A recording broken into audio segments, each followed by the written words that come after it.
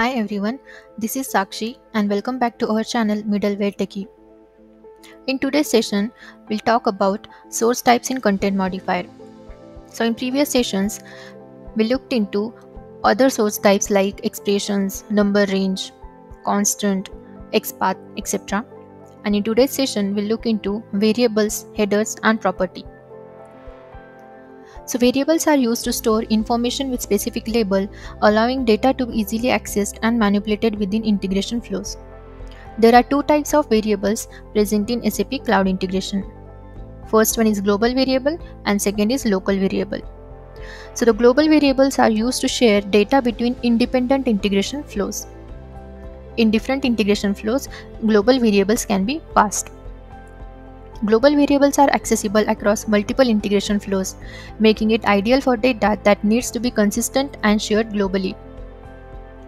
Consider a scenario where multiple integration flows need access to a common configuration or data, like API key or a tenant ID. In this case, we can use global variables. Let's talk about local variables. So the local variables are used to share data between different steps of the same integration flow. Remember the difference here. In case of local variables, we can share data between different steps of same integration flow. But in case of global variables, we can share data between two different integration flows.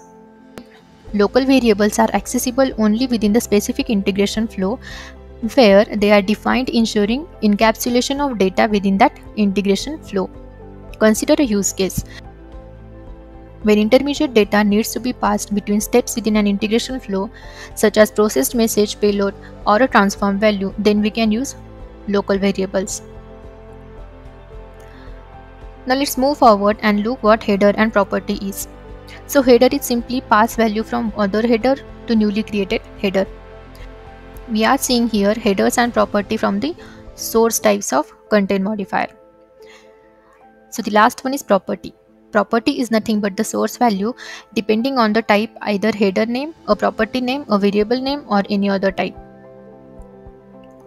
So today we have seen global variables, local variables, header and property.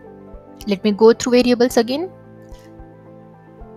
For global variables, we can use write variable step to create a variable at certain point within the message processing sequence that to be used across integration flow. To consume global variable, we can set type as global variable and set it to header or property in content modifier. And in case of local variable, we can use write variable step type to create a variable at certain point within the message processing sequence. And to consume the local variable, we can set type as local variable and set it to header or property in content modifier. So this is it for today's session. If you like this video, please subscribe to our channel and we'll see you in the next session. Thank you.